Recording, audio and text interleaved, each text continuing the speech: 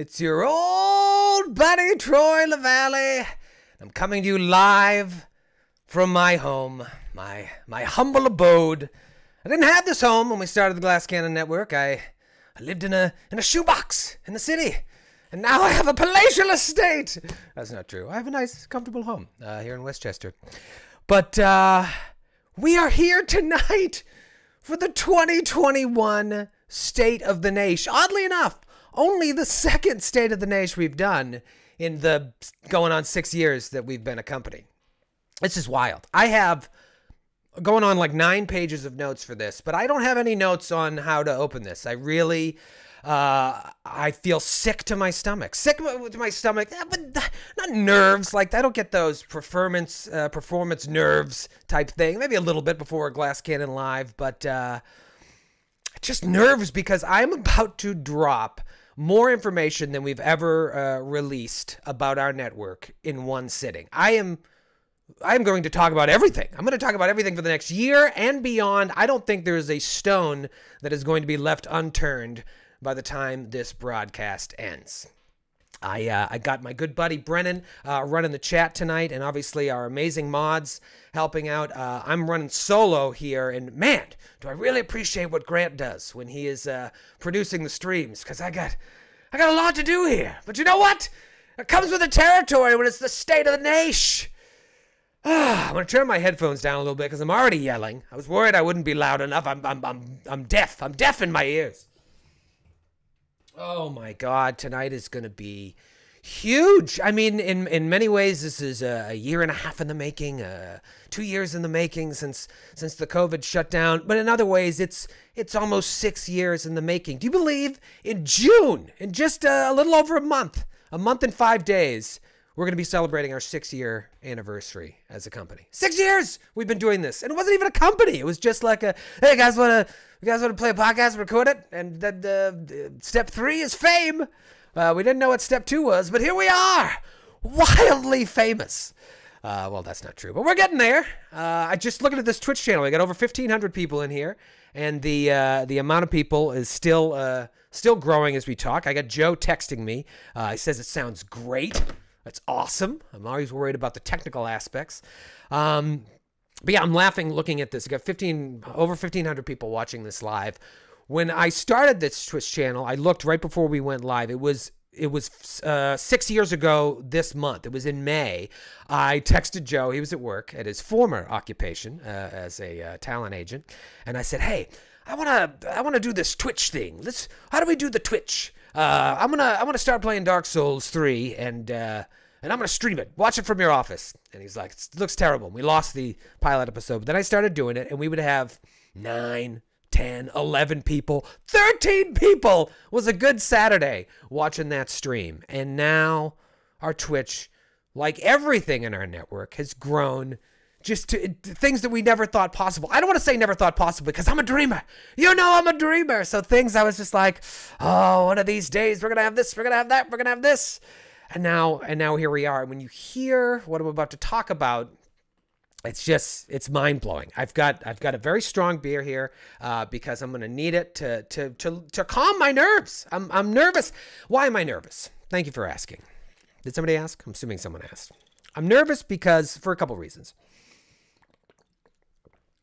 I guess I'm not nervous I'm going to get something wrong. I, I have notes. I don't think I'm going to misspeak. And if I do, I can be like, wait a minute, I didn't mean that.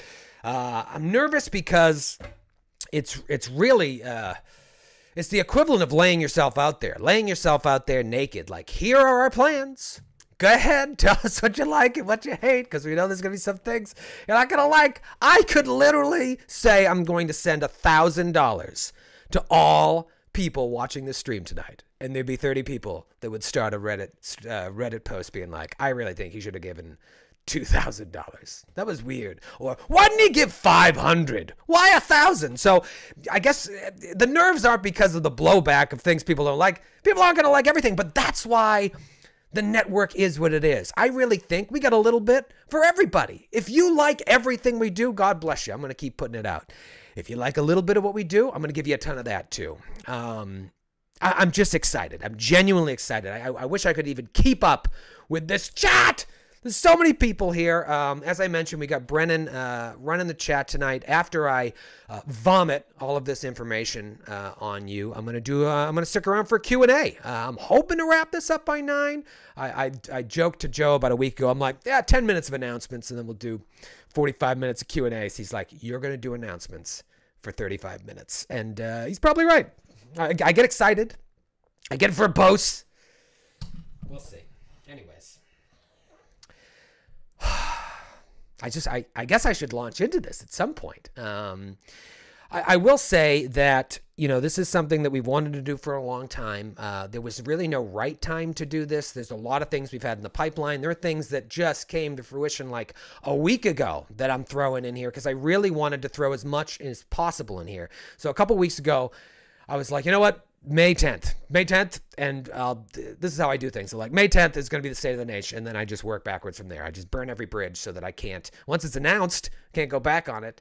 And so here we are, and we've been uh, tying everything up uh, in a bow that we could uh, to be able to do all these announcements. And it is my plan by the end of my my little spiel here to uh, to have touched on every single thing, both our current shows, future shows, future plans, and really give you a, a full picture of, of what we're doing um, and, and why we're doing the things we're doing to a certain extent. And then I'll elaborate on that uh, during the Q&A. Brennan is going to be pulling uh, the questions as usual. I see our good friend Steve Geddes just lighten up the chat with over a million tier one subs. That is what Steve Getty does he is truly uh, one of the best in the niche. And that's saying a lot because there are a lot of people in the niche. Hold on, let me just throw up into this cup.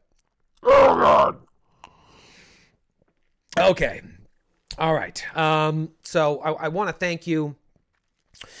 I want to thank you for supporting us over the years. I want to thank you for watching tonight. I said to myself, I was I was I was uh, watching the countdown. I was like, I'm not going to talk until there are a thousand people in here. And now there's almost 1,700. Are we going to break that strange Aeon's goal of 2,000? Maybe. We'll see. Uh, but uh, hopefully, a lot of people will listen to this afterwards as well. Uh, we'll release this, uh, the audio of this. We'll put it up on on the YouTube, as the kids call it. Uh, we'll throw on MySpace and Friendster too, if you still use that. But don't you go downloading this on Napster, you son of a bitch. I'll have the, I'll have the bobbies after you. Um, but yeah, this is this is happening. I could uh, I could banter. Normally, I do ten minutes of banter. If it's a show, I'll make fun of Grant or Joe. Joe's the easy target, and then we'll banter. There'll be some back and forth, and I look at the clock, and around ten minutes, I think to myself, "All right, let's wrap it up. I've done my warm up act. Let's get into the show itself." We're there. We're there, and so uh, I'm gonna I'm gonna kind of round the wagons up and and launch into this and I just want you to know whether you uh, download our, all of our shows every week, listen to every podcast we put out, every Twitch stream, whether you subscribe to us on Patreon, uh, watch all of our shows on Twitch, or, or when the videos hit YouTube later, follow us on social media, see us on tour, buy our merch, whatever you do to support us, it is thanks to you the Naish. We call you the Naish. You call yourselves the Naish. It is thanks to you, the Naish, that any of this that we're about to talk about is able to happen. Everything that's happened up until this point is because of you. Obviously because of our hard work too, but it's not hard work is nothing without support, without resonating with an audience. So I want to thank you because without you, I can't make any of these announcements. None of these things happen. So, thank you from the bottom of my heart, and I speak for Skid and Matthew and Grant and Joe as well. Thank you. You have changed our lives and continue to change our lives every day. And if I can get through the stream without crying, I'll be psyched. So without further ado, let's uh let's lay in some funky music here underneath. Got this new music service. Grant uh, negotiated a sexy deal. And so I downloaded this track. It's called like Minneapolis Funk. So it's it's just a Prince ripoff, but I kind of like it. And this is going to be the underscore to uh, what we're about to do. Here we go. Welcome, everybody, to the 2021 State of the Nation. I don't even know where to begin. I don't even know where to begin. I gotta need a sip of a drink. Oh my god. You know what? I want to start hot. I want to start hot with the long awaited return of Glass Cannon Live. Yep, It's happening. The five of us are fully vaccinated. Uh, I mean, tomorrow I will have had my, my two weeks since my second stab. I mean, let's be honest, there's still a lot of uh, question marks, but the world is slowly crawling back to some semblance of normalcy, and we are ready to go. We have 11 or maybe 12 dates on the calendar right now, booked, fully booked, and I feel pretty good about Probably 11 of them actually happening. So good, in fact, I'm going to announce a couple of them right now. September 2nd and 3rd. 3rd is the day before my birthday, by the way. Glass Cannon Live will be returning to Atlanta at the Masquerade for two nights in a row of Glass Cannon Live during Dragon Con. And then, two weeks later, on September 16th and 18th, we will be Indian, in Indianapolis at Helium Comedy Club during the rescheduled Gen Con for two more shows. I am so excited for this. I can't even tell you. I have missed Glass Cannon Live more than I can tell you. The thrill of us being in front of an audience, getting to share what we do uh, with you in the same room, there's nothing like it. Obviously, it's going to be a little different. COVID has changed everything, and we're taking that into account. We are working with these venues to make sure that they're complying to certain standards that are not only like state and local government standards, but are the standards of the C- that the CDC recommend. We want it to be safe, but we want it to be fun. Get vaccinated and come party with us. What's that, Troy? When are tickets going to go on sale? Well, thanks to our amazing booking agent, our good friend Kevin groomsman at my wedding, along with Joe, who was the best man. Uh, Kevin was able to make it happen so that the tickets for all four of those shows will go on sale tonight at 9 p.m. Eastern at the end of the State of the Nation. Uh, Brennan is going to throw the links in the chat. You'll be able to purchase tickets to Atlanta Night 1, Atlanta Night 2, Indy Night 1, and Indy Night 2. Dragon Con and Gen Con seems like they're going to happen at these rescheduled dates, and we're going to be there too, yucking it up safely with a little strange aeons. But, you know, that seems like so far away. Now, there are some other shows on the books. We've got a couple July dates that might happen, but they're a little iffy. So it might not happen. It might. That just seems like so long to go without Strange Aeons. You remember the Strange Aeons marathon we did in August? How fun that was, finishing book one. I think we need to bring it back. I think we need to bring it back June 12th and 13th in just over a month. We're going to do a two day live marathon of Strange Aeons. We're going to start book two. We're going to kick off the tour with a marathon live on Twitch. That's live. That's not pre recorded. That's going to be happening Saturday, June 12th and Sunday, June 13th. Stay tuned to our social media and our newsletter to find out when the start times are going to be and whatnot. But we're planning on doing two long days, not only to get back into the story, but to get back into these characters and get ready to get back into the tour. We are performers, but we're players first in many ways. And frankly, we just miss playing Strange Aeon. So that's this is our excuse. We're going to do a two day marathon because it went so well the last time. How's everybody doing? Anyone hyperventilating? Please make sure you're staying hydrated. There's going to be a lot of information here. I need to stay hydrated too because I'm the only one talking. Tonight was sponsored by Ethos Water. Unnecessarily expensive and only available at Starbucks.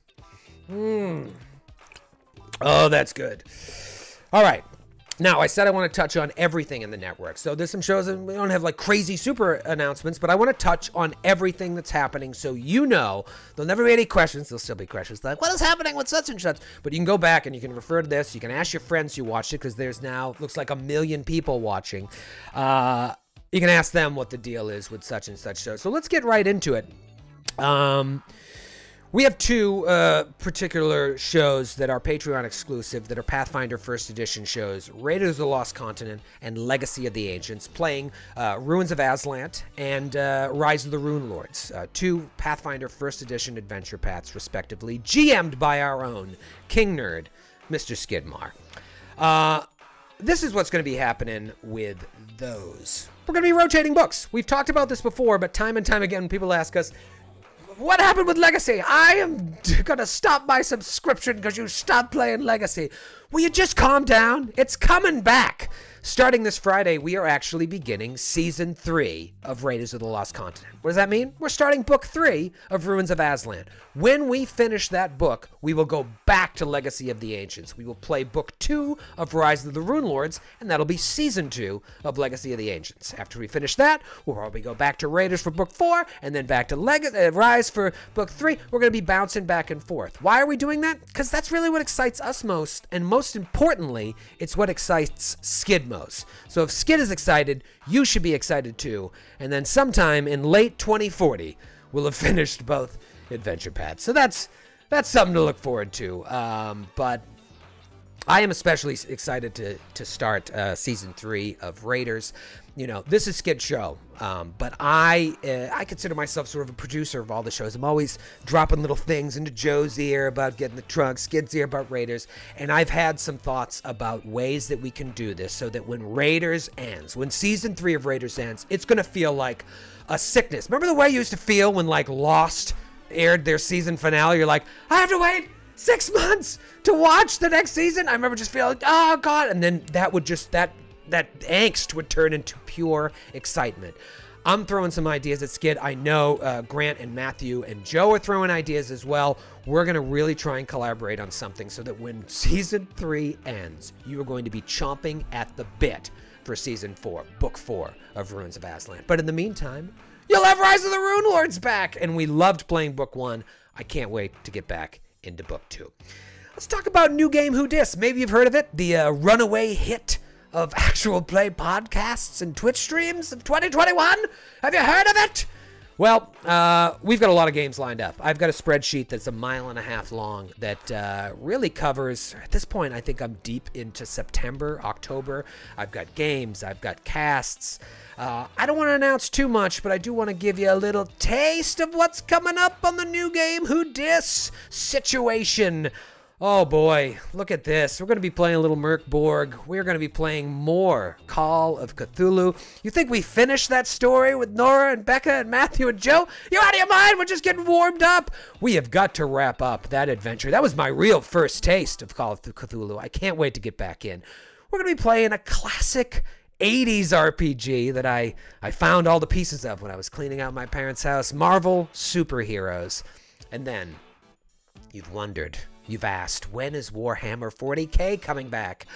Oh, it's coming back very, very soon, and we're going to be playing Wrath and Glory. If you don't know what it is, get excited because I have a feeling, even though my original character will be gone, I will still talk in this voice for whatever character I create. That is a Troy Lavallee guarantee. Whew. I feel like this is going well. What do you think? Voice in my head. It's good. It's good. That's good. Hold on. Listen, we call ourselves the Glass Cannon Network. You can't just call yourself a network without without announcing a lineup of, of new shows and returning shows. Do you remember? Now I'm old, but just pretend some of you are in your 40s or late 30s. Uh, when I was a kid, there'd be a Friday night show. It happened late August, early September, prime time, TGIF, 8 p.m. And they would. It was a show half an hour, hour long. I couldn't tell time as a kid. Uh, and it was just announcing what the Saturday morning cartoon lineup was going to be for each station. They'd have it. Here's the ABC lineup: Camp Candy and the fucking Care Bears, and then uh, CBS would do one too. And I just ate that up. So here is my much. I think it's more exciting, but it, now that I'm thinking about Camp Candy and and uh, and Ernest Hey, Vern, it's me, Ernest. These were good shows. I think you're still going to be more excited about these. Let's talk about what's coming up over the next few seasons. First up is the uh, other runaway freight train, maybe you've heard about Get in the Trunk. It is our Patreon exclusive Delta Green prod- podcast, or prodcast. Sometimes I gotta say, come on, guys, we need to work. All right, uh, well, not surprisingly, I'm here to announce it has been picked up for a third season. Can you believe it? Picked up for a third season. It's only one of the most popular things we've ever done. And here is the real news. Our own Grant Berger will be stepping stepping in. He'll be stepping in as the season 3 handler. Oh my goodness gracious. That's going to be coming summer of 2001, which means we're going to be recording it pretty pretty pretty soon. Can you imagine the intricate details Grant's going to be bringing to this. We can we've seen what he can do with Riker Solace. What will he do when he has to deal with the likes of whatever horrible character I bring to the table? Season 3 coming this summer, available only on Patreon. You know that one of the best collaborations, one of the best products of this uh, horrible pandemic was meeting new people, collaborating with people, especially people on the West Coast, especially people like our good buddies at Stream of Blood. One of the producers at Stream of Blood is a, a college friend of mine, Brian Baldinger. He was uh, he was a senior when I was a freshman at Boston College, and he called me up right at, sort of the beginning of the pandemic, like uh, a year ago March, and was like, "Hey, uh, can you?" Tell, let me know about streaming. How do you how do you stream your games online? And I think, like I do most emails and texts, I ignored him for a couple weeks because uh, if I don't reply to someone right away, it it just doesn't happen, and I feel horrible because then weeks will go by and I'm like, do I send a do I send a reply now or do I? I look like an asshole either way. But I'm very busy. I used to be no. I used to not be busy. I used to just sit around, play Skyrim all day, and be like, I wish I could. No, I wish I could do something. Uh, now I, I have no time to myself. But uh, finally, I got back to him and I gave him some some tips. And then lo and behold, a couple weeks later, the Stream of Blood was born. They asked me to guest on it, and I just fell in love with Jared Logan. I knew Jared from stand up. I mean, Jared was a successful stand up, and I was a open micer doing bringer shows. But I saw Jared perform. And I was like, you kidding me? Jared's a geek. I want to get in on this. And then they asked me uh, after I guessed on one of their Call of Cthulhu shows, was like, do you want to do you want to like do something else and, and get get one your, another one of your guys involved? I was like, yeah, you know, I really I would I would like to do that. It'd be nice to like not have to run a stream, just be on it and and collaborate more with Jared and and and and Clint. These are great people. I met them like two or three times, and I was like, you know, when you're just like, those are good people I need to work with the rest of my life. That's how I felt. Um, so I said, I've been kind of interested in playing Blades in the Dark. You guys know about this? And then within seconds, I got a picture of Jared, Clint, and Brian all holding Blades in the Dark. They were like, yes, let's play. So if you followed our Blood and Blades uh, collaboration we've done with them, Joe and I have been having an, an absolute blast. And one thing led to another, and we just knew that we needed to continue working with each other. And honestly, I said I was going to talk about everything tonight. I don't think I'm going to talk about everything because there are just loose plans in the works to do great and exciting things with Stream of Blood for years and years to come. What I will do is announce one concrete thing that is happening. I mean, this is huge. This is a, a, pipe bomb of an announcement. Coming in the fall, we're going to be doing an official collaboration with our good friends at Stream of Blood to produce a full season of the brand new Dune RPG. You knew it was only a matter of time before we started getting serious with those SOBs. Well, we are not messing around with this one. In fact, Jared Logan and I will be, in many ways, co GMing this mini series with an insane cast that we're still putting together uh, that is going to be announced later this year once we have everyone uh, signed and locked in. On top of that, we have the full support of the game's creator, Modiphius, who, uh, here's something that's not surprising, are awesome and just really great to talk to. They couldn't be more helpful. They are totally behind this, and I just, we're just working on something very cool that I think will be unlike, unlike any other stream I've ever heard of. And, uh, more information will be coming uh, on that soon. This is going to be available on Twitch and in podcast form coming this fall of 2021. And you know what? Let's just, I, I, I, teased it. Let's just jump right into what's happening this winter. Boom. Yep. You knew it was inevitable. You knew. You knew. I'm looking at you, you son of a bitch. I see you smiling in the back there. We are going to be launching our own Blades in the Dark series that I am going to be running. This will be appearing both on Twitch and available on Patreon as a podcast. That's the plan for right now. I mean, if you've watched Joe and I collab with Stream of Blood, you know, you have an idea of what the potential is for a game like this if we let Skid and company loose on it. This game is so great. I mean, we are loving Delta Green. Blew us away. Blades in the Dark is Joe and my favorite game that we found in the past year. Favorite. It's just what John Harper and Evil Hat Productions have created is it's it's in, infecting all of our other games in the best way possible. Finally, a good infection. Uh, and and we're gonna we're gonna we're gonna start making our own show. Things will be cold outside, but we're to be heating it up in Duskwall with the Glass Cannon Network playing Blades in the dark. Oh man. I told you there's to be a lot going on. I haven't even looked at the chat. I haven't looked at the chat since I started uh, talking. I'm really just looking for Joe to text me to be like, your camera's gone or your your mic sounds terrible. And I haven't seen that text yet, so that's good. I'm gonna go back and, and watch this later. And my wife will be like, Can you just sit and watch Sister Wives with me? Can we can we just do that without you having to look at the stream you just did? Seeking Sister Wife, not Sister Wives. It's it's it's it, you can't stop watching. Um, all right. Shut up. It's a good show. It, no, it's not. It's really not. Um, all right. Most of you know. Most of you know that recently we passed the 80K goal. 80K on Patreon. Do you realize that puts us uh, number one gaming Patreon uh, in the world out of millions of Patreon. I assume there's millions of Patreon. Number one in gaming. Uh, we've been number one for a while. And this isn't to brag. This is just to show you the strength of the Naish. Uh, I think it puts us like 37th overall in just number of subscribers. But that number doesn't really mean anything because our per uh, our per our subscriber per subscription number is so much higher than most other people. Uh, we're, we're, we're like in the top five, four or five percent Patreons in the world, and that I told you I was going to cry, but when I think about that, when I think about where we started and where we are right now, the way you support us, it's it's mind-blowing. It's mind-blowing. You have changed our lives. Joe, Grant, Skid, they've all quit their jobs. I've quit I've quit my 20 jobs that I had. We're doing this full time. It is a dream come true. It is a lot of work, but we ultimately play games for a living. We play pretend. We make people laugh, and it's thanks to you.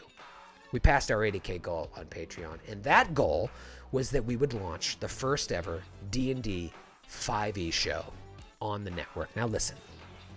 It's been a long running joke ever since we started the Glass Cannon podcast that Troy hates 5e.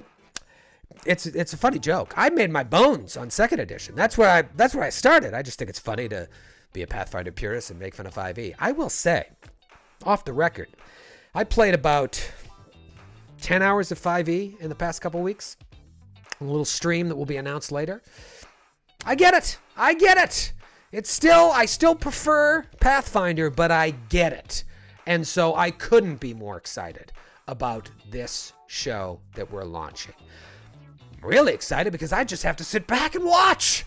Uh, this is a show that is going to be a Twitch show and a podcast. And that podcast is going to be available everywhere. This is not a Patreon podcast. This is going to be freely available because we want people.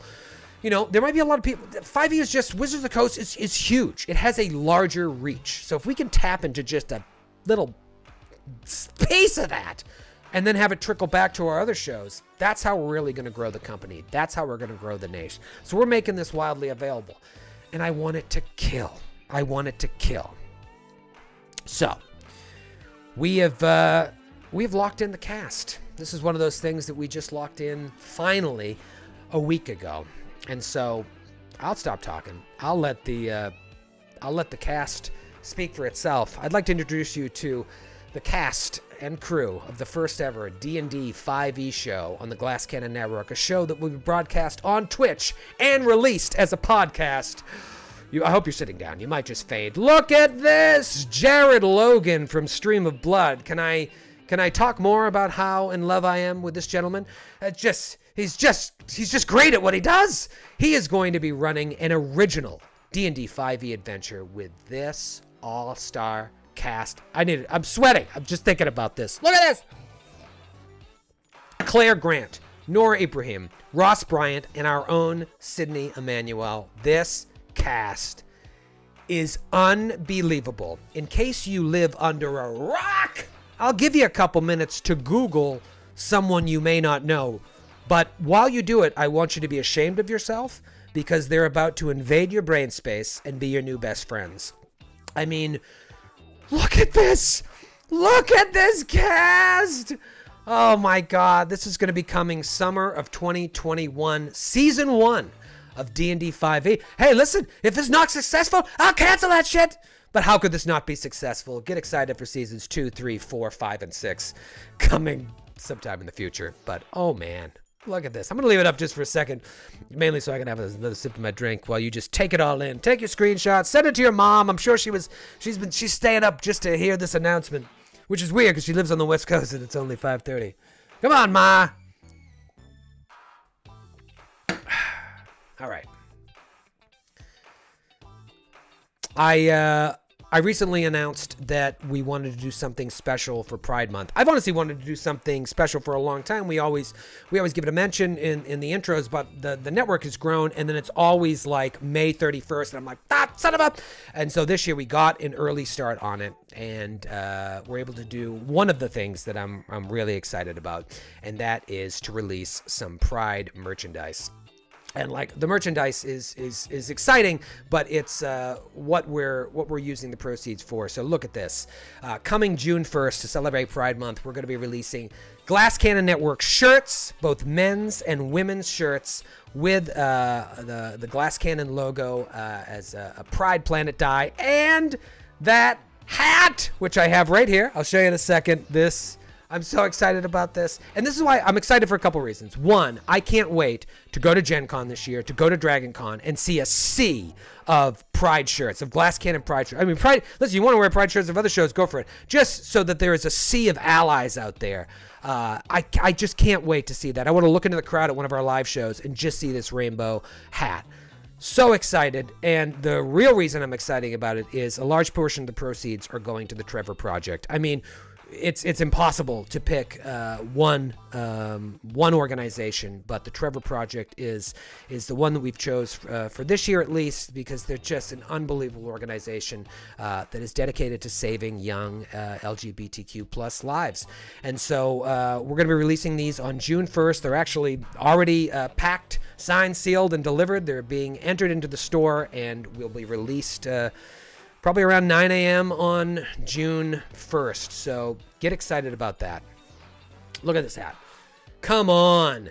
Come on. And it's it's navy blue around the edges to match the uh, the navy blue of the glass cannon. Only one in existence. Your old buddy Troy has it. By the way, there's still a couple of these left in the old merch store. Old Greeny. Actually, I don't know. I, I didn't check this morning, but so excited about this. Uh, we hope to uh, spend the whole month celebrating our LGBTQ plus brothers and sisters. So uh, get excited for that merch. What is next? My God, I think I'm I'm just uh, just over the halfway point in my announcements here, which is exciting. Uh, all right, well here's one. A lot of people, I'm sure a lot of people tune in tonight just because they want to know about this. I'm not going to say you're going to be disappointed, but you may be a little disappointed only because uh, there's only so much I can talk about it. And this has to do with Glass Cannon Con. I would have loved to just thrown a ton of info at you tonight. Um, but this convention is quite possibly the biggest endeavor we've ever uh, ever got involved in. I don't know if you know this about me, but I don't know how to do things uh, small and and like uh, let's do a starter con. That's just not my style. It has to reinvent the con game. If I could host this con on the moon, I would.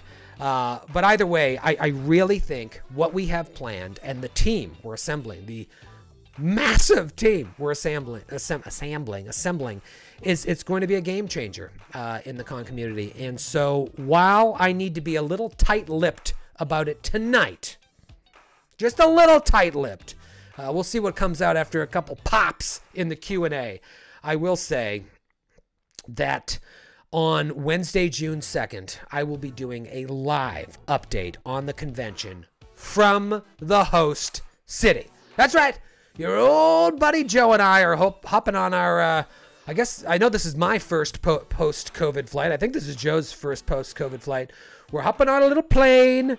Uh, and we're flying out somewhere, and we are going to uh, take some very important meetings. And come hell or high water, even if it's premature, we're going to be announcing at least the location of uh, the first convention. That's right, I said first because it's going to be so wildly successful. Eventually, my grandchildren will be running the con um, from their hover cars. I don't know.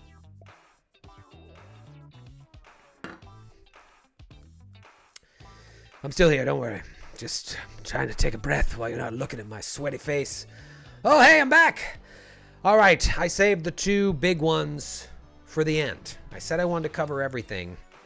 And I think after these two, unless I skipped a slide here, uh, it's gonna it's gonna hit on everything. Um, so I saved our two biggest properties for last. What is going to be the future of androids and aliens, and the future of the Glass Cannon podcast? I said podcast again because I'm, I'm all I'm all wired up. Uh, let's talk about ANA first. Let's talk about the future of ANA. It is, you know, I was reminiscing a lot today, and I was thinking about how far we've come uh, since the beginning. I talked about it a little bit at the beginning. It is insane to think that we have like 40 different projects happening right now. That's only slightly exaggeration. If I were actually sit down and enumerate them, I think it would be close to 40. Androids and Aliens, of all these things, was only our second show on the network. I remember being at Gen Con 50 and announcing it to that packed room we did that amazing, ridiculous uh, PvP battle with Tom Exposition, announcing that we'd be doing Starfinder, launching a new show, adding a new cast member and, in the uh, inimitable Eleanor DiLorenzo. It was our first big Patreon goal. We had some small goals leading up to it, but it was our first Patreon goal, and we hit it within no time after inking a, a licensing deal with Paizo and, and launching our Patreon. This show, you all know, if you followed it since the beginning, it's gone through several different iterations since we began. From audio only to audio with ads to a live stream in our studio with new cast members to taking a break during COVID to where it is now is this weekly 90 minute or so stream that releases uh, the following week as a companion podcast. You know, despite all these changes, I think whether it's your favorite show or not, I think you would agree there's something magic that happens on ANA from time to time. It happens in all of our shows. I don't want to take away from other shows, but there's something that happens on ANA that is inexplicable. You know those moments. You talk about those moments. Um, and you know, sometimes Starfinder rules get in our way, or it feels like there's too many people on the stream talking over each other, especially now that we're playing remotely. Sometimes Starship Combat makes us want to slit our own throats, but sometimes those true magic moments happen, and they've inspired so much of the other stuff that we do.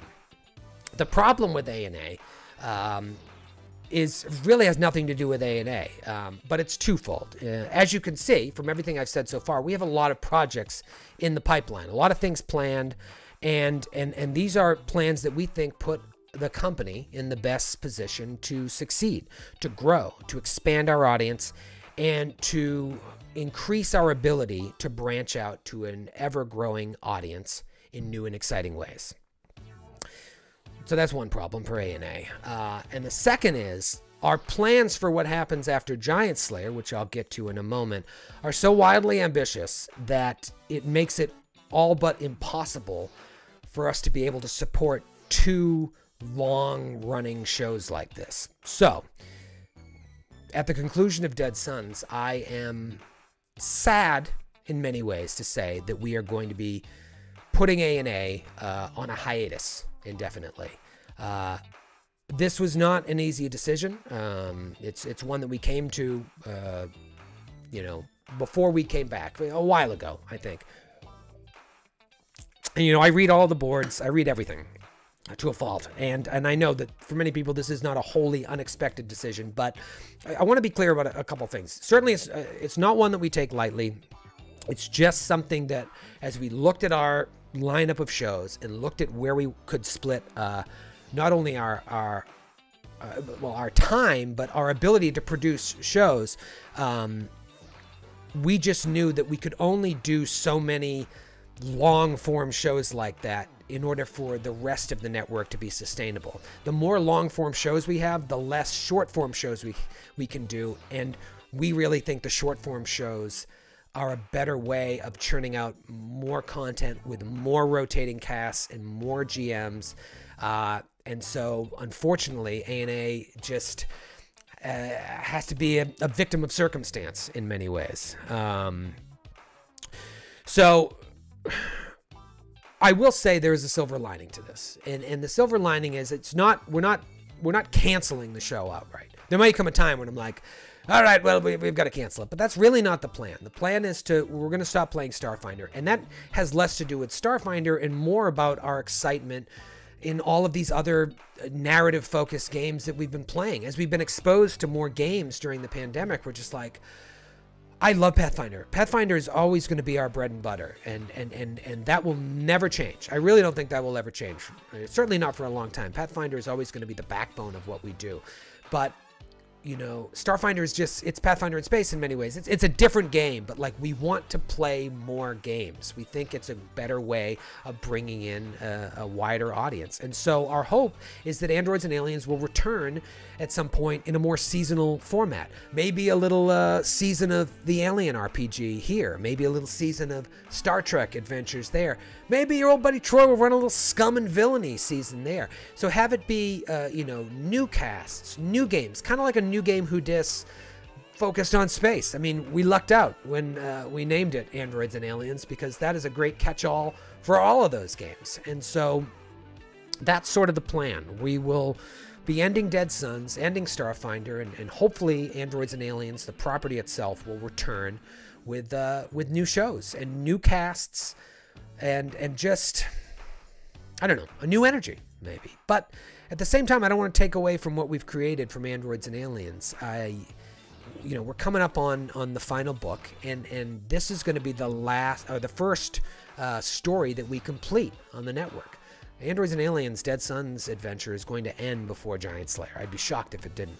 And there's something uh, really cool about that. I think that some at some point there's going to be 150 something episodes out there of this one story that is encapsulated in just you know 150 something episodes. You can discover us 10 years from now and be like, oh, maybe I'll check out this Androids and Aliens show that they do, and there it is. There's the whole story. You know, I think about my my kids being able to listen to this someday. I'll I'll, have to make edited versions of some of them, but uh, you know, it's just so cool that these are going to live on.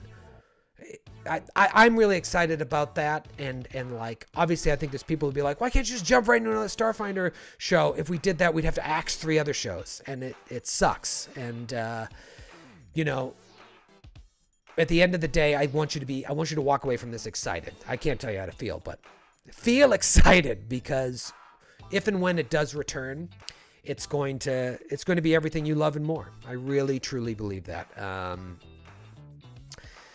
so let's talk about Glass Cannon 2.0. Uh, this is uh, a big part uh, as I get into this. This is this is this is the headliner. This is the main event here of our uh, of our state of the nation. You know, and and I and I spoke to it a second ago. That one of the main reasons that we have to stop androids and aliens is because of what this project is going to entail. Entail for me, um, and entail for all of the people involved. It is going to completely take over our lives in the best way possible. It's our flagship show. And, um, you know, with the exception of the convention, which I'm sure, you know, by by the time I'm done designing it, is going to need several Kickstarters or multiple investors or several scratch off lottery tickets to pull off the way I envision it. But our, I think beyond that, our plans for GCP 2.0 are the most ambitious we've ever had as a company. There's a lot of moving pieces here. So I'm just gonna I'm just gonna jump right in. As you know, we are in uh, book six of our, uh, our our first show. Our first show the Glass Cannon podcast, playing the Pathfinder First Edition Adventure Path Giant Slayer. I think that story is going to end sometime around the end of this year. It's possible it'll go into January. I would love to tie it up in a neat bow last week of December. No one would love that more than Joe, but like I told Joe, like the show ends when it ends. I can't I can't force an ending on this show. It's going to end when it ends and I think uh, you know, I've run it through the, the computer that is my uh, slowly deteriorating brain, and I think it's going to end sometime around the end of this year, possibly beginning of next year. Um, what comes next is something I've been thinking about for a long time, planning in many ways for years, but really just thinking around it. And, and I started thinking about it right when I knew that what we were doing was more than just a, you know, another stab in the dark how me stabs in the dark I had over the years. just to fly. I'm gonna make. I'm gonna write a pilot. I'm gonna. I'm gonna do stand up. I'm gonna uh, audition for commercials and feel like. And you know, some things would pop and then fizzle, pop and then fizzle. If you had told me seven years ago that this would be the one that would pop and not fizzle, I would have punched you in the face. But here we are. And so when I realized that, I really started thinking, like, what happens after Giant Slayer? You know, and our business has grown substantially over the years as well. And that's influenced these decisions in many ways. But our goals have always been the same. We want to be the best, and not the superficial best. It's like we want to put out the best content we possibly can every single week with every show that we do. We want to play games uh, that we love with the same infectious joy that we played them uh, when we were kids, before we were podcasters. And we want to have as many people listen to what we do as possible. So, to that end, here's what you've been waiting for, I think. Maybe some of you are just really excited about season three of Get in the Trunk. But for the rest of you, uh, here is the uh, the future of the Glass Cannon podcast. There are multiple parts to this. Part number one we are switching from Pathfinder First Edition to Pathfinder Second Edition. The fact of the matter is, Pathfinder 2e is the now. You know what else it is? The future. And in order to stay on the cutting edge, we want to play what we think is the best version of the game out there and become the preeminent 2e show in the business. Look at our competition. I don't want to say competition and like, ah, I can't wait to crush you. Like the people that are bigger than us, the people that we want to have a share of their audience. You know, a lot of them are playing D&D. There is no enormous life shattering Pathfinder 2e show out there. And you know what? There fucking should be. And so we're going to be it. We're moving to Pathfinder 2e, and I could not be more excited about this. We're still going to have several first edition shows on the network. You know, skid shows on Patreon. Our tour, we're playing Strange Aeons. Those are going to stay first edition. But our flagship show, the Glass Cannon Podcast, is making the move to 2e. I'll give you a little spoiler alert. Your old buddy Troy has been playing in a home game on the side for a little while now. That's right. I am just abandoning my family and my wife, my two young boys, to play a home game so I can learn this system inside and out, sussing out what I like, what I don't like, learning the system, changing some things that I don't, not, you know, house ruling a million things, but like thinking about how to make this show the best it can be and have a real st- strong grasp on a, a system that's still, in many ways, in its infancy. And I couldn't be more excited to make the leap, and the guys couldn't be more excited to make the leap. In addition to Pathfinder 2e, the big switch, also going to be some other changes. We're going to be expanding the cast and moving to Twitch as well as a podcast. Now, listen, while there is something special and maybe even precious about the five of us, the five founders of the network being the main cast of the show, we truly believe that expanding the cast with a focus on diversity is just going to make for a, a, a, richer game experience and, frankly, a more inclusive project all around. I have not decided who these people are going to be as of yet, but I'll tell you, if all of the amazing personalities we've featured on New Game Who Dis are any indication of our taste, you can be assured they are going to be awesome and the right fit to throw in to our baby, the Glass Cannon podcast. I couldn't be more excited about that. And a move to Twitch as well as a pro- podcast, to me, that's the biggest no brainer. You all know that video and live performance are, are a huge focus for me. Uh, it's been a huge focus for me as we've continued to grow. And to be able to move the GCP to Twitch is a dream, years in the making. We're going to be tearing down our set and selling or auctioning off the pieces. You know, we'll sign all the bricks. They're not real bricks. They're like they're paper thin, but they're no, they're I guess they're like they're plywood thin. They're not even plywood thin. Whatever a real thin wood is, that's what they are. We're gonna be we're gonna be signing those, auctioning them off to help us build a brand new set for this new show. And I just I, I can't wait to unveil it. Let's go back to me for a second. Um, but that's not all. You know, we're making the switch to 2E. We're adding to the cast. Quick check. Good. Joe hasn't texted me. Audio's still good. I'm sweaty. I'm so sweaty. Makeup! God, Linus is busy. making the switch to 2E. We're adding new players. We're moving to Twitch. Still going to be a podcast. Don't worry. No, I'm not going to get my podcast. You're going to get your podcast, and it's going to be wildly available. This is not a Patreon podcast. This is free to the world. Uh, you might be wondering what adventure path we're going to be playing. Sure, that's uh, something that's been speculated no less than 3,000 times today. If our Discord and the subreddit and Twitter and MySpace are any indication. Right now, there are, I think there's four or five second edition adventure paths out there in the pipeline. Maybe one or two uh, still uh, like announced or yet to be announced. Um, and you know what? There are probably a dozen or so podcasts already out there for each of the adventure paths that have been released, uh, playing each one. When we started playing Giant Slayer, honestly, I'm not even exaggerating. You probably count on one hand the number of Pathfinder podcasts that were out there doing adventure paths. There just there weren't any out there. Uh, now, here's the thing: if we do one of these 2e adventure paths, we're going to be sharing the space with six other shows doing that AP.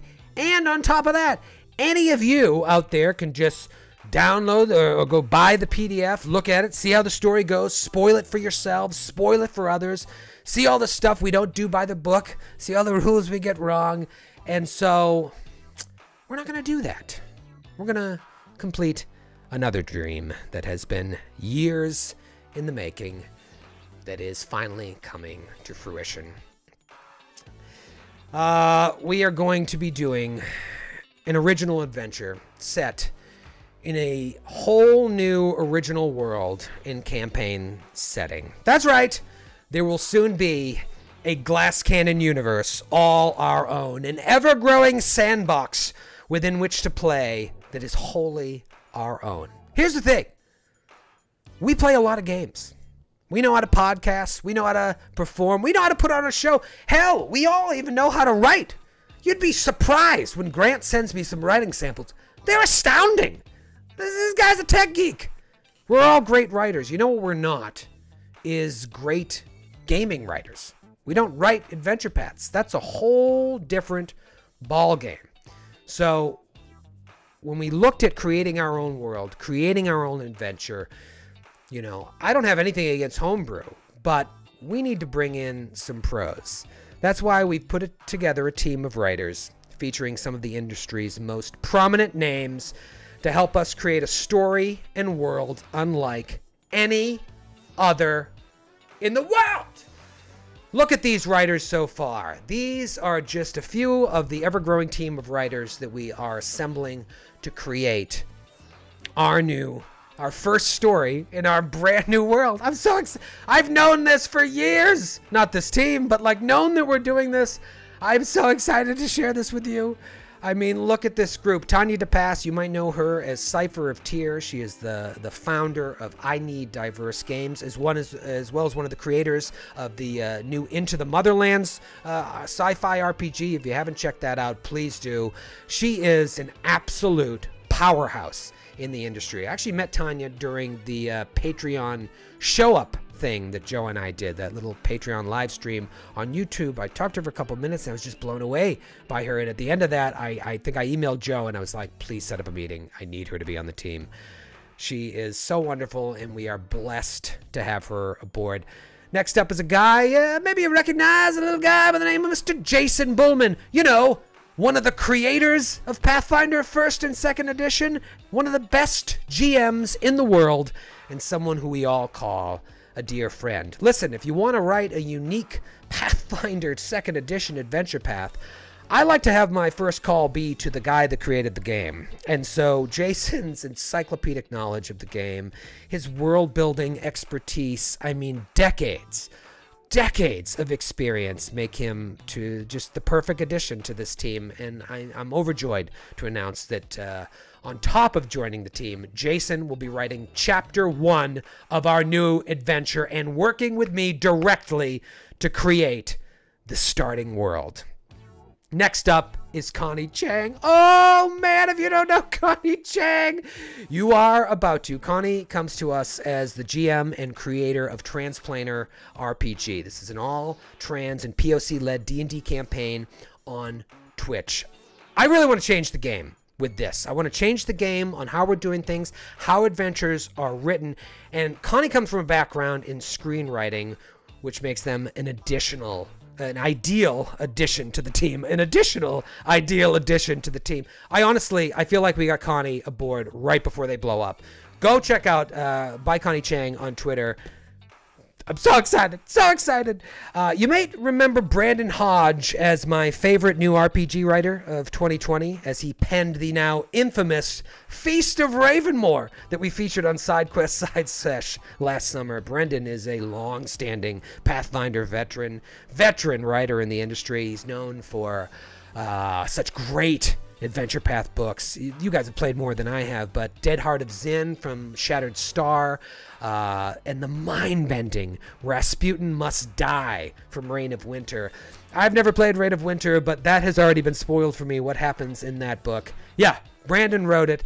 And now he's working with us. He was also essentially the driving force with Erik Mona behind Occult Adventures, as he shares Mr. Erik Mona's obsessive love of all things esoterica. Up next, Gabe Hicks. Gabe, let me tell you about Gabe. If you don't know Gabe, I'm sure you all know Gabe. Gabe is a true Renaissance man. I hope you're watching Gabe because uh, Gabe Gabe is the be- Gabe is a game designer, cosplayer, streamer, and I think one of the brightest young minds in gaming right now. Every meeting that we've had with Gabe, uh, I'm, I'm not exaggerating, blows me away with something so like a new bend on an idea that I would never thought of. I've seen Brandon and Jason's eyes light up when Gabe says something like, "Never thought of doing it that way." Couldn't be more excited to have Gabe on the team.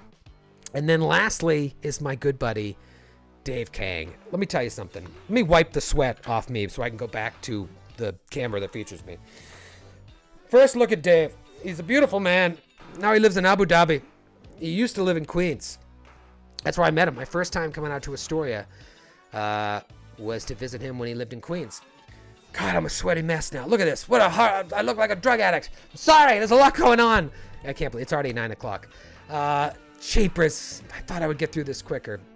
Uh, Brennan, hold off on that post until I let you know that uh, that link post. What was I going to say? Oh, yeah. So, Dave, I was finishing up grad school at Columbia. I needed a job. I was bartending. I got a job working at this video store, Kim's Video.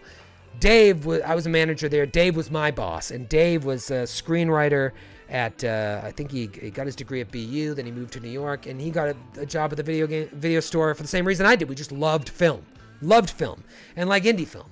And I got my film school. Uh, I don't know. I, I, felt like I went to film school working at Kim's Video uh, on the Upper West Side uh, near Columbia. And Dave and I became really good friends.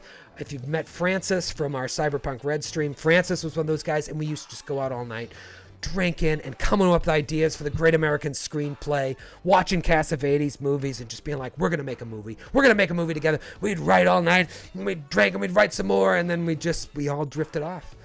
We all grew up and our lives changed. We moved away, far away from each other. And when I knew that I wanted to do something like this, I called Dave up called Dave up when we really started getting serious about it about a year ago, and I was like, I want you to write this with me. I want I want to do what we always wanted to do. And so Dave is going to be a, a, co-producer on this, but also a co-writer in many ways. Together, we, we meet.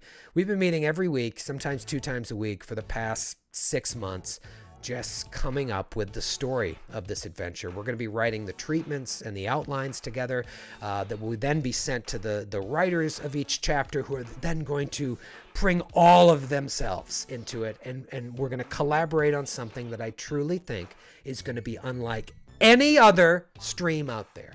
I am prone to hyperbole, but look at this team. I'll show you. I'll show you it again. I don't give a shit. Look at this team.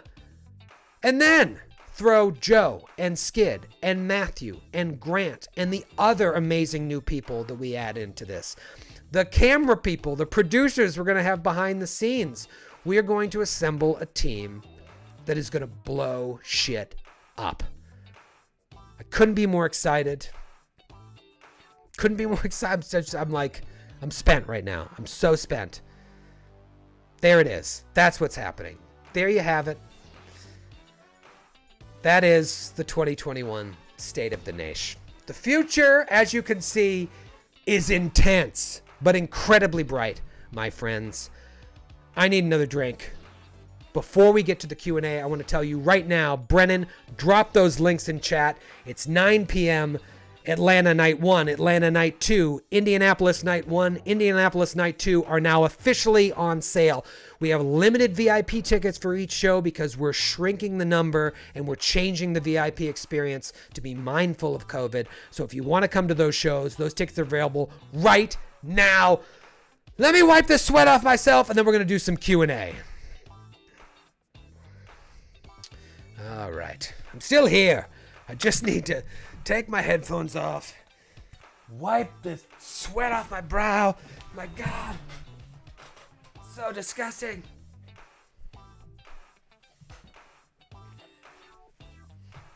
Don't leave. We're doing the Q&A. My wife My wife's to be so mad. She's like, "You said it would be done by 9." Actually, she knows better. Whenever I say, "Yeah, I'll be done by 9," she's like, "All right, I'll see you at 10:30 tomorrow morning." All right, we're back. Oh, god, I look like horse shit. I'm sorry. I'm sorry. It's my my children have been sick. My uh, my two year old Archer got sick for the first time uh, a couple days ago. He's never been sick. Knock on wood. Uh, and uh, it's brutal. And so then, of course, the little baby, little Dash, who just turned five months uh, old three days ago, he started getting a fever. So we can't turn the central air on because we want to keep it warm for then. So this is what happens. I look like an extra from Requiem for a Dream.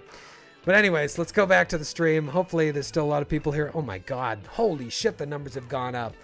I don't know. No, I don't know if uh, people are happy or sad. Uh, I, I assume people are excited.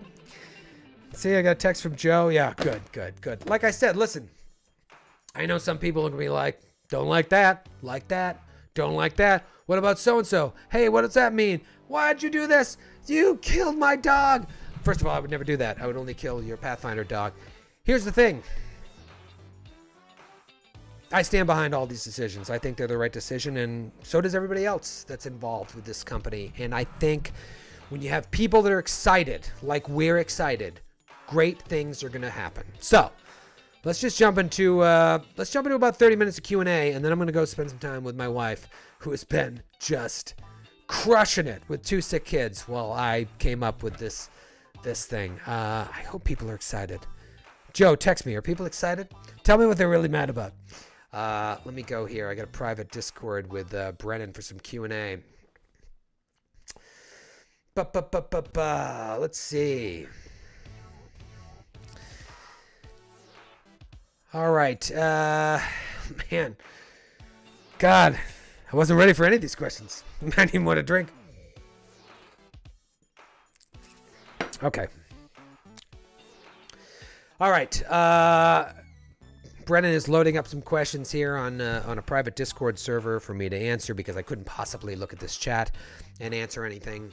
Uh, I want to start with like a really good juicy question. Uh, all right, here we go. Thunderous Oath says, "Can we expect the second GCP, GCP 2.0, to have the same post-production quality as current given that streaming makes production value difficult? That's a really good question, and it touches on some other things that I want to talk about. So, um, there's been a lot of questions about: uh, Are we? Do we live stream?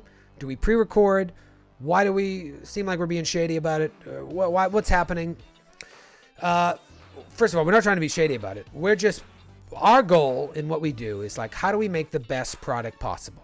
And what we decided, uh, you know, I guess probably around the time that we were ending side quest Side Sesh, we had to pre-record a side quest Side Sesh because uh, there was some, some, sickness or something, and we pre-recorded it, and then Grant sweetened the audio, and I was like, this sounds a million times better than what we normally put out.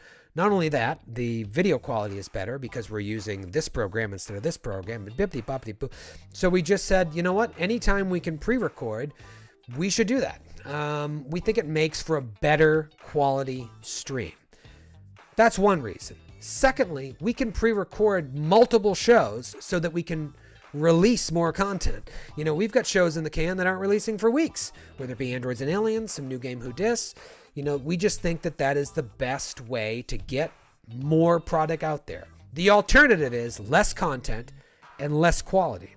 And while while people enjoy that live experience, after doing the Strange Aeons marathon, which was live, and to be fair, uh, PaizoCon show that we're doing in two weeks, that's going to be live with uh, Nora Ibrahim, Alicia Marie, Skid Maher, and Joe O'Brien, myself GMing. That's going to be live. The Strange Aeons Marathon on June 12th and 13th, that will be live. We're still going to do live shows, but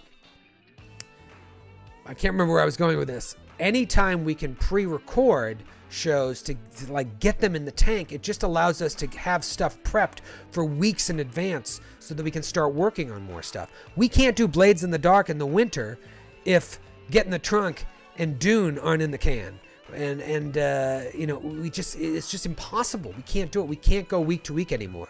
We could do it with SideQuest Side Sesh because we shut down all of our other shows. You know that was sustainable. We can't do it with our other shows. And so while people, oh, this is what I was saying is like when we did the Strange Aeons final night, we were paying so much attention to the chat, uh, the players and myself, that it I think it took away from the stream. Like obviously we're making a lot of rules errors and so we were trying to correct it, but I think it took away from the stream. So we were moving towards a pace that was going to ignore the chat anyways. And so if we're pre-recording it, it doesn't that engagement with the chat doesn't matter because we're not editing these. They're pre-recorded and then they're aired the way that they're recorded with just Grant spending uh, an innumerable amount of hours sweetening the audio, syncing it up to make it look awesome. So that doesn't mean we're not going to do any live content.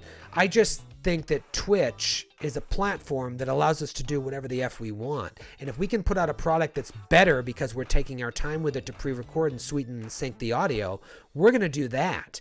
Now, maybe we can do more after parties. Maybe we can do more like so and so's in the chat tonight. Hope you enjoy the episode. But like when you watch uh, you know, Law and Order, whatever the fuck you watch, like that. That's not live. It's pre-recorded. And that's why it looks so good. It's edited.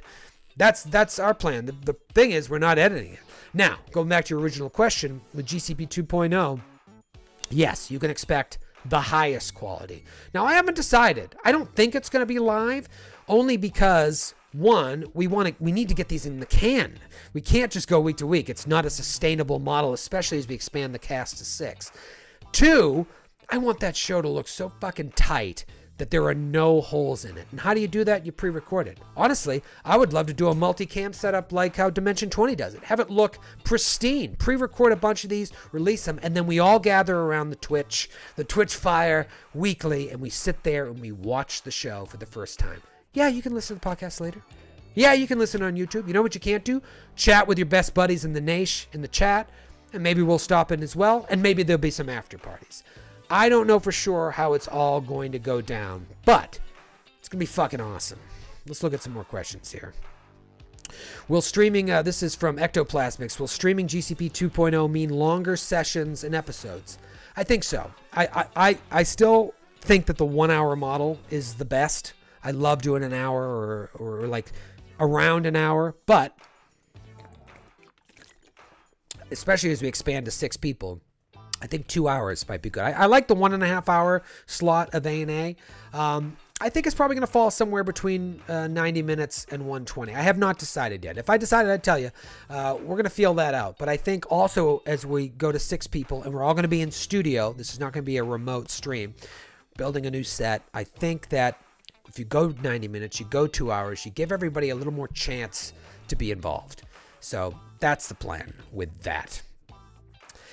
Alexander says, "Will you use the free archetype in your 2e show?" I saw a post on this on the subreddit. I guess it's a very popular. Correct me if I'm wrong. House rule about uh, offering the free archetype to uh, 2e players to be able to multi-class without burning a feat. I'm probably paraphrasing a little bit. Um, my answer is they'll be lucky if they get hero points. So don't ask me questions like that. Yeah, I'm gonna leave that as my actual answer. Um, do do do do do do do. Hyper Baby Duck, great handle says, uh, "Are you worried that adding this question was for Troy? Good, thank you. I thought I could answer it. Are you worried that adding more cast members to GCP could slow down the game and add the same difficulties that A&A has? Uh, I think we're all concerned about it, but not worried. And moving to being all in the same room or room." When in room, uh, I think that's going to be the, the key We're going to practice a lot, make sure that, every, like, the pacing that Joe Skid, Grant, Matthew, and I have when we're back in the room recording GCP. Talk about magic. Like, it's just, we know, we've done this for so long now. We know how, we know everyone's ticks. We know when, like, now's my turn to speak. Oh, Troy's doing that head movement. That means, like, he's not going to speak or he's about to speak. Like, we've got it down pat. We talk over each other in live streams because of the, the, uh, you know, the difficulties with playing remote adding two people, we've got to we've got to get them into that groove. It's you know, it's like any you know, I grew up in the theater. I grew up I, got my MFA in acting like it's it's it's like any other group. You just got to work together and figure it out. We didn't have that at the beginning, and we got there. We'll get there with the new group as well, and we'll we'll make sure that we start where we need to. We're not going to have a bunch of shitty episodes of us talking over each other and then it catches its footing. It's going to start hot, and we're going to do everything we need to do to make sure that it starts hot. That's why pre production on this thing is going to be massive. Massive! What else we got here?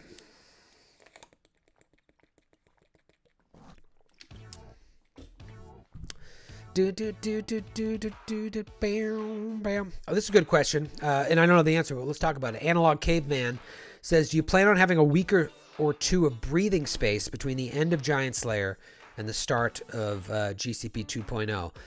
I think there should be some breathing space. You know, when I when we started this, I remember like the listening to looking up like uh, sort of diatribes from famous uh, podcasters and Marc Maron's the godfather of podcasting at the time. Uh, now Rogan has sort of uh, unseated him, uh, whether you like him or not. He's popular. Uh, he said like the key was stick to a schedule, release every week, and never miss your schedule. And so that has been very important to us. It took like Skid getting COVID and uh, me almost dying from a reaction to an antibiotic to us to miss our first week during the pandemic, and then obviously putting the shows on hiatus was a big decision during the pandemic as well. Now, I think this is a different situation. I don't see a world where we do the final episode of Giant Slayer.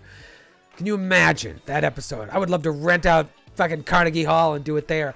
Uh, do the final episode of Giant Slayer, and then the next week, like, all right, let's uh, meet this fucking wizard that throws acid dart. You know, it's just I, I just don't see that happening. Uh, will we do like some introductory session zeros? Will you will we take some weeks off? Will we revisit side quest side session? I don't know. I think everything's on the table. I want the transition to be smooth, and I want that first new episode to be hype. And so I think for it to be that, it, there needs to be some space. How much space? Only time will tell. If Giant Slayer ends end of January, you know, you know, we're already starting to write chapter one right now of our story. Um, so I, I don't want to wait too long. I want to get into this, especially with Glass Cannon Con uh, on the horizon. Uh, hope that answered the question. All right, check my texts. Okay, great. Uh, Matt Tosis says, "How much inspiration did you guys uh, do? You, do you guys intend to take from Golarion for the GCP 2.0 world? A similar similar pantheon and general genre feel? Just a few deities in common, nothing at all, or is it too early to know for sure? Uh, in in a way, it's too early to know for sure. Uh, in another way, nothing at all. Uh, we're creating our own de- deities, our own everything. You know, the the sort of behind the scenes reason is like we want our own intellectual property. We want to wholly own everything. Uh, we're also uh, we couldn't be happier with our relationship with Paizo, which is evolving uh, in a way that will uh, hopefully be uh, announced very very soon. It, we're very excited. I mean, this was. This has been a dream collaboration with them, and we're about to take it into a, in a very exciting new area. But we really want this to be our own world, with our completely different from Golarion.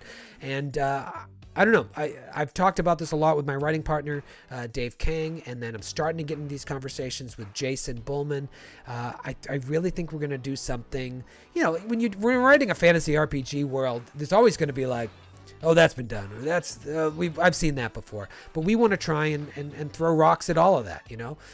Uh, I don't want to say too much because I don't want to give anything away, but it's it's just really exciting. It's daunting, uh, but we couldn't be more excited. And, and as you, you've seen the team we have in place, plus the team of players and the team of players, the couple players that we're adding, we couldn't be more well prepared to put out content like you've never seen. And uh, I mean, the Pathfinder 2e that I've been playing lately, I'm, I, I don't think I said this. I'm playing an Agents of Edgewatch campaign on the side that David Winters is running for me and some amazing members of the Nation. Uh, David, hope you don't mind me uh, saying that uh, if you're watching. But uh, I asked David a while ago, I was like, would you mind running me and like a small group through Agents of Edgewatch? I just want to play. I want to play and ask a million questions and really learn this game inside and out. And uh, I, I really think you guys are in for a treat. We started it with Emerald Spire. We started some 2e. It didn't have, you know, it was a victim of COVID more than anything else. But like, get excited. Get excited, especially if you love 2e. If you love 2e, holy shit. Uh, what else we got here? Only a half a million questions. Actually, not not as many as you think. Shellbell 1014, you ever thought about adding a sign language interpreter to your Twitch live videos or any of your shows? You know, we haven't, but we've been approached by people for a long time. Kaya had asked uh, Joe early on about offering some opportunities uh, for for that. It's something we're, we're looking into. Uh, you know, subtitling our videos or or like offering some, uh, you know, offering more opportunities for for everyone to be able to enjoy our shows is something uh, as we continue to grow. We're really trying to uh, find ways to do that work in the information age. And it's it's it's difficult because there's a lot of people out there that's like i can transcribe your shows for a million dollars.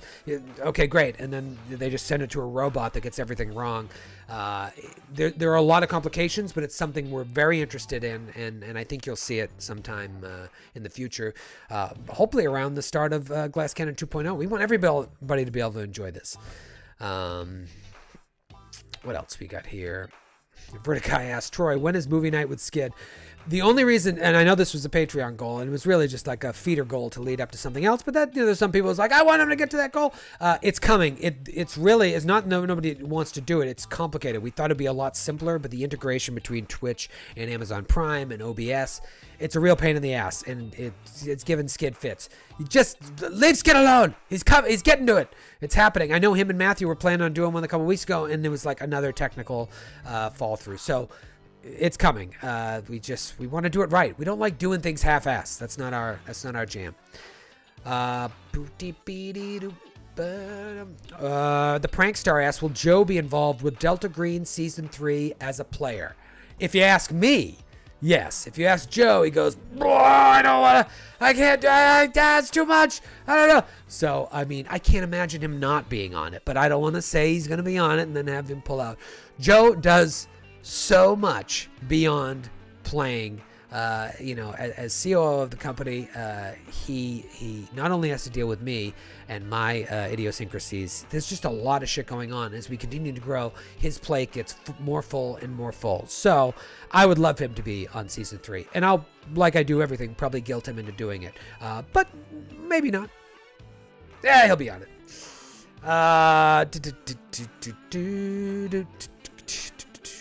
Uh, OMF 5235, how much of the Pride merch proceeds are going to the Trevor Project? That's a good question. Uh, you know, I, I don't know exactly. We obviously, we did, uh, when we released the masks, a portion of those proceeds went to uh, direct relief. You know, we're doing something similar with the Trevor Project. Uh, I don't, I don't know the exact number, but like we're if it matters, we're not making a ton of money on this. You know, we just we don't want to we don't want to hemorrhage money while giving to a good cause. So our hope is to like get a lot of merch out there so that we can give a lot to the Trevor uh, project. Um, but we don't have a, a hard percentage because there's just a lot of math that has to be done to make sure that we don't like oh we just we, we give a lot of money to Trevor project but we somehow screwed up and lost ten thousand dollars. Our goal isn't to like make some money and donate. Our goal is to uh, give to a good cause if that's a good answer. Um, do do do do do. How do you like this music? How do you like Minneapolis funk? Uh, all right.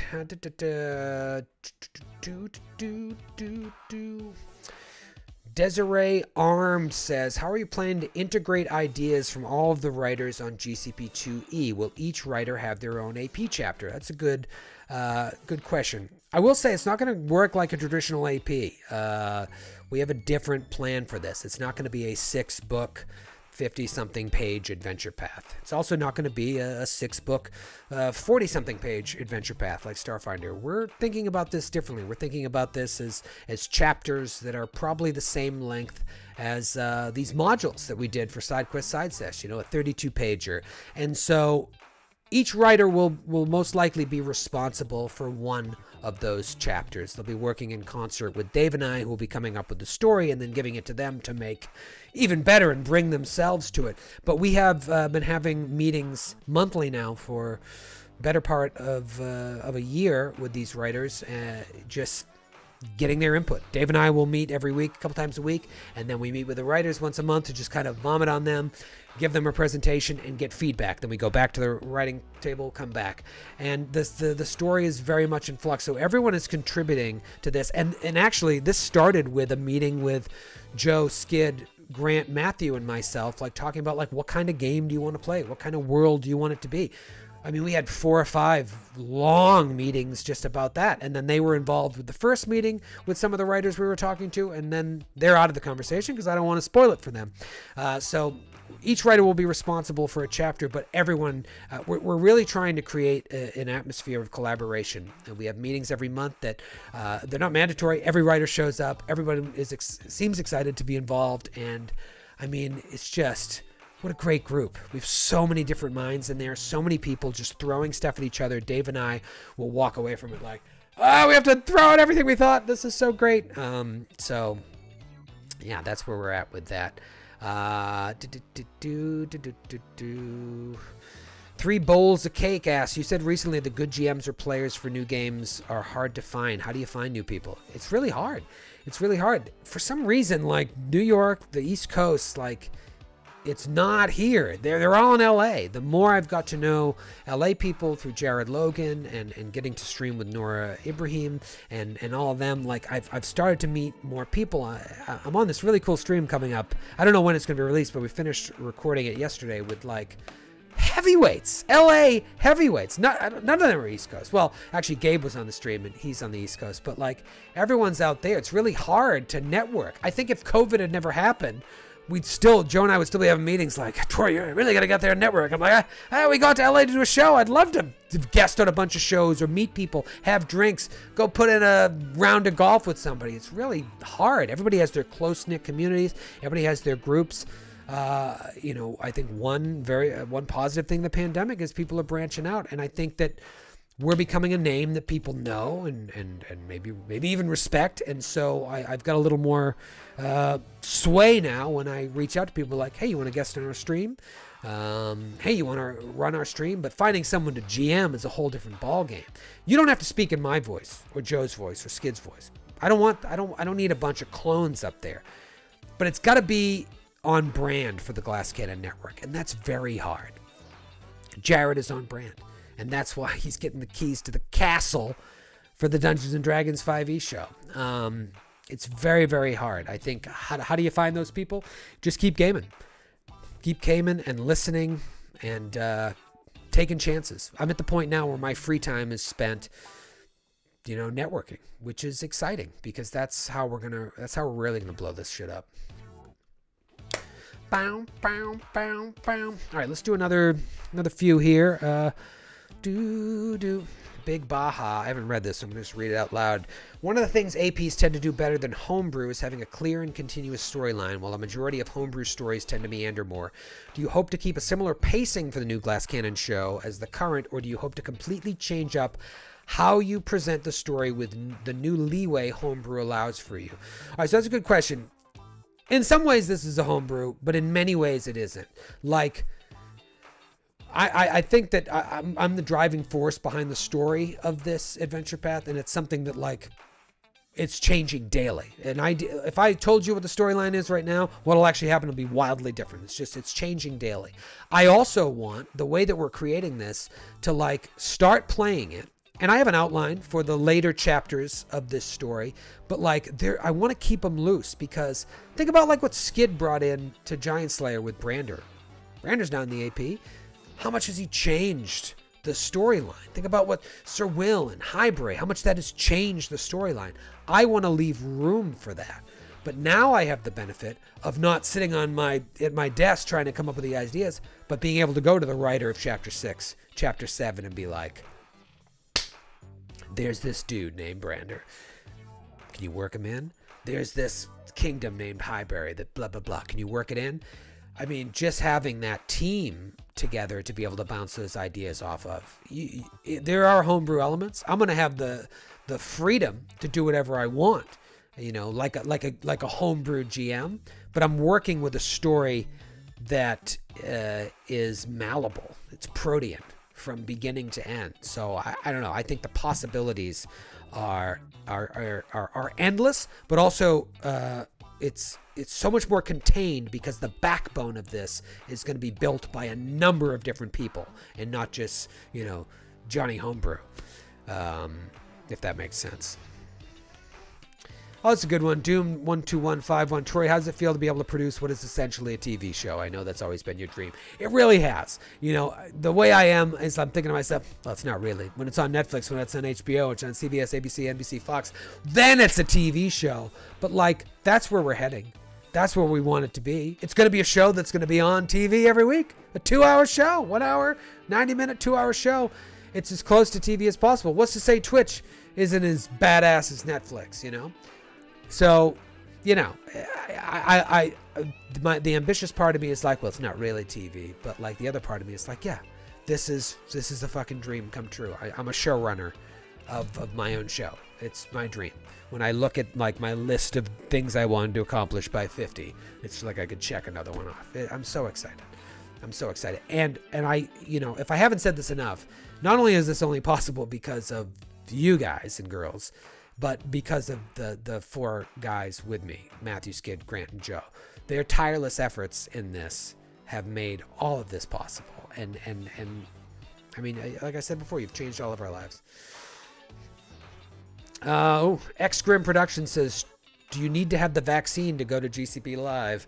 Better be careful how I answer this one. I don't know. I don't know. Uh, but get vaccinated because it's the right thing to do. Don't be afraid of this shit. I'm double tapped. All the guys are double tapped. I was very lucky. I didn't have any reaction. Some people do have a reaction. You know what? It lasts for a day, and then you're safe. Get vaccinated before I say something else. Just get. I don't know if it's going to be uh, vaccinated only. Kind of hope it is. I want to be safe. Get vaccinated. It's the right thing to do. Um, Dalhidio says, Will Cyberpunk Red be in the works, or is it something not planned anytime soon? Man, this is the problem. It's a good problem to have. There's so many games that I want to play. I'm so glad we're going to get to be play Call of Cthulhu again. Uh, but like, I'm dying to play Cyberpunk Red. I, I got Band of Blades and Scum and Villainy. I, I talked about Band of Blades on Fodder last week. Talked about Scum and Villainy earlier as a possible uh, A&A uh, bump. But uh, I pick up the book from of Blades. I read 15 pages. I'm like, this is so good. I want to play this. And I then I just run through my head what we have planned for just the next six months. And I'm like, it can never happen. And that's kind of what I feel about Cyberpunk Red. I would love to get Cade and Francis back on and, and get that team back together. I left, I feel like it was a really good Cliffy. Um, yes, it's going to come back. When? I have no fucking idea. It's just exhausting uh, to do all this shit. But uh, it's a game we loved and so if we love it, we're going to play it again. Do, do, do, do, do, do.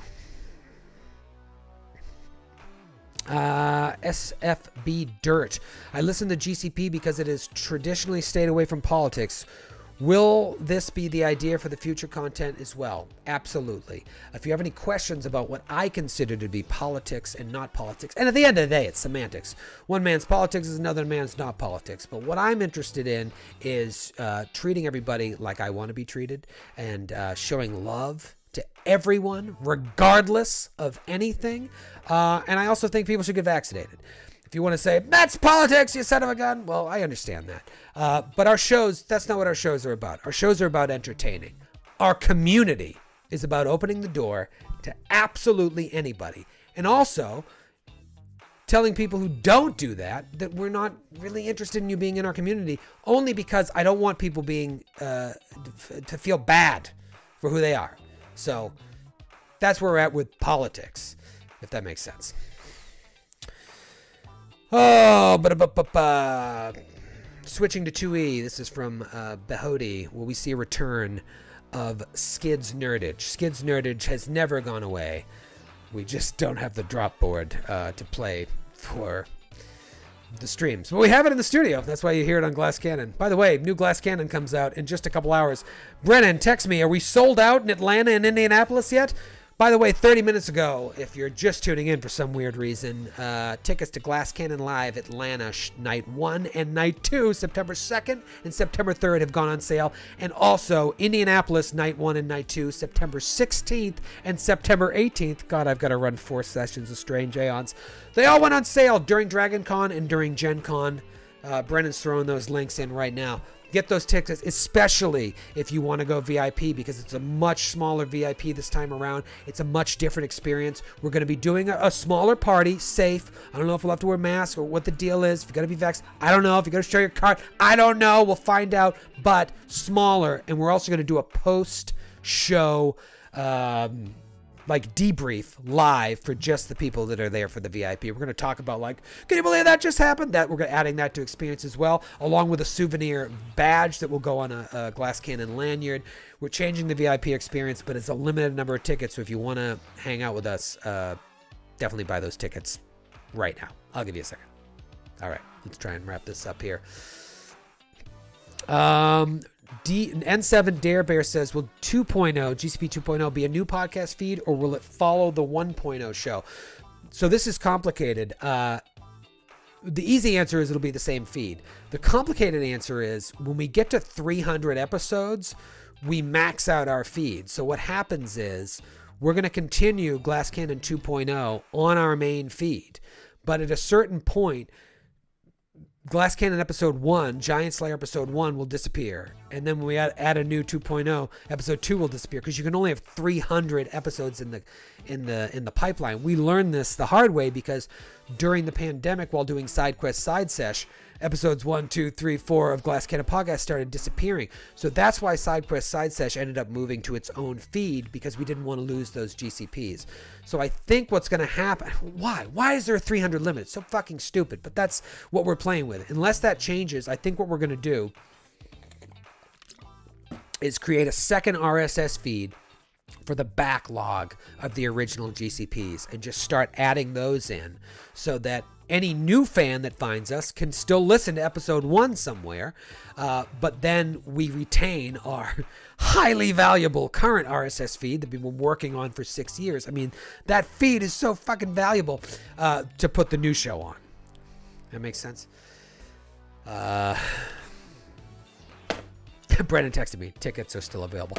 Well, I assumed they were, Brennan, but that's they, they shouldn't be. They should really you should you should buy them all up so that we can do this. Uh, have you come up with a title for the new show? Yes, the Glass Cannon Podcast. Uh, no, but the uh, the new world will have a title. Uh, the new campaign setting. You know, this is something we hope to publish somewhere down the line. Uh, this is all going to have names, but the show is going to be called the Glass Cannon Podcast. We just won't be playing Giant Slayer. We'll be playing Shamanabadu. Uh, I don't know. I'll come up with a name uh, at some point. It's the puns, the puns that I have to come up with for these titles of the episodes that exhaust me. Uh, Todd One Out asks, any chance we can get an after the final rose style recap episode for After Giant Slayer? Just bring everyone back together for a casual chat about everything that went down. I'm sure we're gonna have something like that. Right now, my plan is because we could very well have the last episode of Giant Slayer recorded months before it ever releases um, because we're recording these ahead of time so that we can start working on GCP 2.0 and Dune and Blades in the Dark and all this other stuff. But I imagine uh, a situation that we'll do like we did in the old days, like Monday night, the day before the final episode comes up. At 8 p.m., we'll do like a red carpet live thing from the studio where we'll be there. We'll invite all our VIPs and, and people from the network, and we'll we'll reminisce live leading up to the midnight release of the episode. Maybe, or maybe we'll just we'll do it live like we did episode 250. I, I really don't know, but it'll it'll be special. Uh, it'll be a, a before the final rose instead of an after the final rose. Maybe I can't wait. I cannot wait. I mean, by the way, new Giant Slayer drops at midnight. These next few episodes are so effing hot, they're gonna blow your mind. We're in the end game now. Um, speaking of the end game, don't forget to get a poster, The Road to the End, available on GlassCannonNetwork.com. They're selling like hotcakes. All right. Uh, I need to go be a good husband in a second, but there's a lot of questions here. Uh, Turbulent 93 asks, can you ensure Joe builds a poorly optimized character that has a great story for GCP 2.0? I all but guarantee it, good buddy. Uh, do Constrictor asks, since you're hiring writers, will you still have a very structured on the rail story, or you'll be writing a world with open possibilities for the cast to forge their own path? B, I mean, you have to write these things. Well, you don't have to do anything. I really want to reinvent. Forget everything you know about adventure writing. You have to write the rails. You know, the rails have to be there. And then it's up to the GM if you want to keep them on the rails or if you want to let them play the game you want to play. One thing that I've learned, especially in running Call of Cthulhu, you know, you want to give the players enough rope to hang themselves with, but there's something to say with just letting them play the game they want to play and then finding your way around the story that you're trying to tell. So I think we're going to find our way somewhere in the middle. But I'm going to encourage the writers to to write you know write in an open-ended way that it, not not necessarily that everything's a sandbox but like there there shouldn't be a, a correct way to do things i'm not interested in like the optimum way i want there to be real i want to be able to sell this adventure at some point i want to be able to publish and sell this so that people a, a, a million different groups could play it a million different ways um, uh, Breakpoint Zero asks what's in the VIP package for the live shows. If you click on those links, it'll tell you what's in the VIGCP package. But just to reiterate, um, there's an after party, uh, you know, autographs, drinks, good time, safely. Uh, there's going to be, we've added a, a post show live debrief where we're going to sit on the edge of the stage and talk about what just happened live, you know, because the players don't know. I don't know what they're going to do. We're just going to reflect on it. Uh, you're going to get a, a, souvenir badge that is uh, unique to that uh, show uh, with a lanyard, VIP, like Wayne's World. and fucking what else? I'm going to click on the link myself so I can read it. Uh, there's something else. Oh, you get early entry into the show uh, to be able to choose your seats, and then you also get an opportunity to uh, buy merchandise without like having to deal with huge lines. So that's what you get uh, in the new VIGCP experience. Uh, Shellbell 1014 asks how Troy, how is Linus? He's the best. Be sure to check out our Instagram. I did an interview with him before the State of the Nation, uh, and it's up there. Linus. He gives a good interview. Do, do, do, do, do. All right. Uh, Brennan, don't add any more questions. I'm going to wrap these up and uh, call it a night and get another fresh beer. I should have brought more. Do, do, do, do, do, do. Haiku asks, How close do you feel the company overall is to producing shows independent of the original members, like the new 5e show? I think we're closer than we've ever been, close enough that we're actually doing it. Um, this is something that, like, especially a control freak like me, like, it has to be done a certain way. And I have the utmost confidence that Jared and this team of Claire Grant, Nora Ibrahim, Sydney Emanuel, and Ross Bryant are going to put on a show that is going to feel like Glass Cannon while also being its own new wild thing. Um, while I know that's going to be successful, I think it's going to give me the confidence to be able to add more shows. We're only going to be able to grow if we can have more shows that don't feature all of us, and ideally don't feature any of us, but still feel like a Glass Cannon show. And as we build our uh, ensemble of players, it's going to happen and uh, there's so many games to play. It's exciting. The more I think about it, it's just it's so fucking exciting. Imagine what we have planned for the next year, and then where we could be five years from now. Five years from now. So exciting. Uh, Warthog 155. How completed is your new world for GCP 2.0? It's not very. you know, not unlike the story, I want to leave the world open as well. I want the world to discover itself. You know, I think the traditional way of doing this, and it's nothing against the traditional way, is to draw the map. Here's the world. Uh, the, I posted on uh, on uh, my inst- my personal Instagram a while back. I found these old drawings of like RPG maps I did when I was 12 or 13. It's like that's the traditional way. Here are the the so and so mountains, and here's the pit of the troll and the cave and stuff that's not how I'm operating with this. I really want to focus in, and this all goes back to a conversation I had with Erik Mona about a year ago um, when Joe and I told him about this project and the plans for this project, and he introduced me to this idea. I think it was Gary Gygax who uh, had this idea about the bullseye approach to world building. It's like focus, and I was talking at a meeting with Jason Bulmahn last week, and he brought it up again. I was like, "This is the way to do it." It's like focus here, create the details here as detailed as possible. And then on the next layer of the bullseye, fill in a few more details. And then out here, even less details.